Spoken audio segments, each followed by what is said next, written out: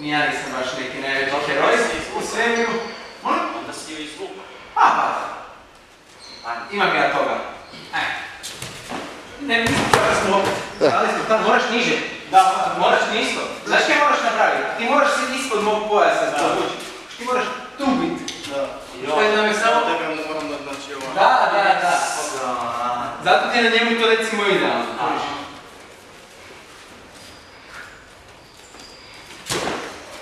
E, ovo je bolje.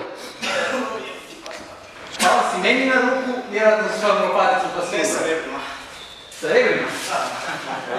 Znaš kaj trebaš napraviti? Trebaš doći kod nas u dvoranu To je tako kad imaš takav posao. i tam ideš doći malo na onaj